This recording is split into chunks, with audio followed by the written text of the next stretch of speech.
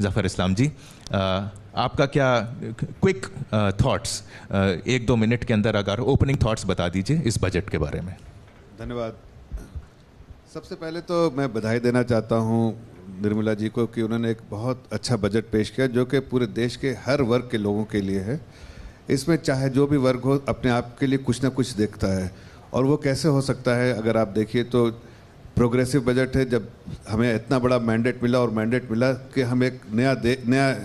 देश देखना चाहते हैं न्यू इंडिया न्यू इंडिया में क्या होना चाहिए कि हर एक नागरिक के लिए जो सुविधाएँ होनी चाहिए वो सुविधाएँ जो जिससे कभी बहुत सारे अपने देश के देशवासी लोग वंचित रहे उन सुविधाओं को मुहैया कराया जाए हर नागरिकों को। इसलिए आप देखिए इस इस इसमें हमने हर वर्गों का ख्याल रखा है, अगर किसी के पास छत नहीं तो उनको छत दिया जाए, घर दिया जाए। जिनके पास बिजली घर तक नहीं पहुँची, वहाँ तक बिजली पहुँचाया जाए। जिनके पास सड़क नहीं है, अभी इंफ्रास्ट्रक्चर जो होना चाहिए, वो इंफ्रास्ट्रक्चर नहीं है, चाहे वो किसान हो, चाहे वो गरीब नौजवान गरीब हो, चाहे एक नौजवान हो, चाहे महिला हो, हर लोगों को इंफ्रास्ट्रक्चर से जब अच्छा होता है तो मिडिल क्लास को या लोअर मिडिल क्लास को सबसे ज़्यादा अगर इंफ्रास्ट्रक्चर डेवलप होता है तो उनको सबसे बड़ा फ़ायदा होता है। उसके साथ साथ देखिए, अभी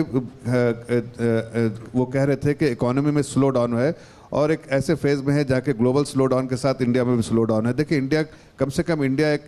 आइसोलेशन में देखा जा सकता है कि यहाँ पर अपॉर्चुनिटीज़ है ग्रोथ मोमेंटम है और हो सकता है। थोड़ा स्लो डाउन इसलिए हुआ था कि एनबीएफसी सेक्टर में थोड़ा सा जो कमी आई थी वो क्रेडिट फ्लो की वजह से उसको भी इस इसमें जो है पूरी तरह से वो कंसर्न को भी एड्रेस किया है। तो बजट अगर पूरे पर्सपेक्टिव से देखें चाहे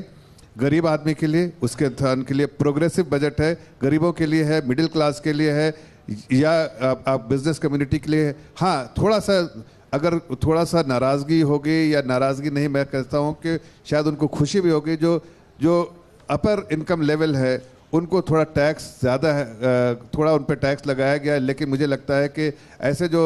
जो तीस चालीस हज़ार लोग हैं, वो ज़ाहिर है वो वो अपना सौभाग्य समझेंगे कि उनके कंट्रीब्यूशन से देश के गरीब तबका के लोग जिनको आज तक बहुत सारी चीज़ें नहीं मुहैया कर पाए उन तक हम उस चीज़ पहुँचाने में सरकार कामयाब होगी और कहीं ना कहीं उनका कंट्रीब्यूशन उस, उसमें भी रहेगा। तो उसके अलावा अगर आप देखिए तो हर वर्गों के लिए हर समाज के हर लोगों के लिए हमने कुछ ना कुछ किया है।